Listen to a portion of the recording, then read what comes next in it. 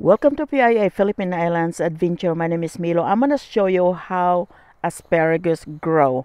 I have this asparagus here for I don't know how many years now. It could be seven, eight, ten years, something like that. No, I'd say ten years, and it grow every year. And luckily, when we have some, when we hired someone to clear this area, it didn't get cleared. So here is the asparagus. This one is uh, purple asparagus right here. See that? That's asparagus. And it's growing. Look at that. It's ready to harvest. Look at this one right here. It's really long. Look at that. It's supposed to be standing up, but it got buried when we had somebody work back here. That is really to be harvested. All right. Thank you so much, guys. Take care.